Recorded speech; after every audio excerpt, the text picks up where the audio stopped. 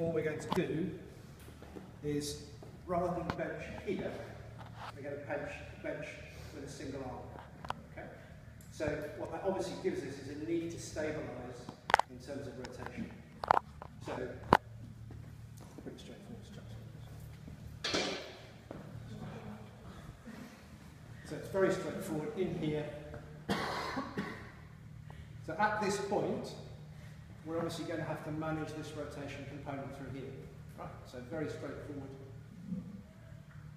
The, obviously the higher the load, the more the rotational management. So this means you've got to fix here. We'll see a lot of you go extend the position, shorten here, give yourself a decent five point fixing, toes, backside, shoulder blades, and then work here. Right?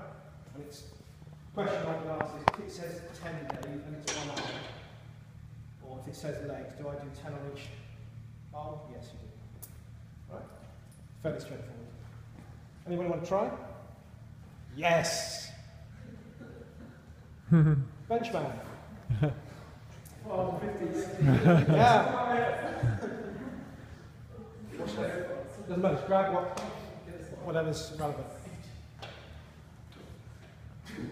This one. Okay. Always good to get the excuses out at the beginning.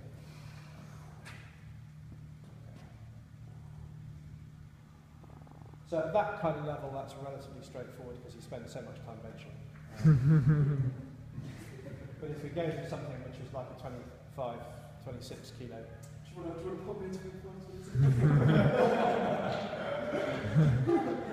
in these circumstances, I've, I've never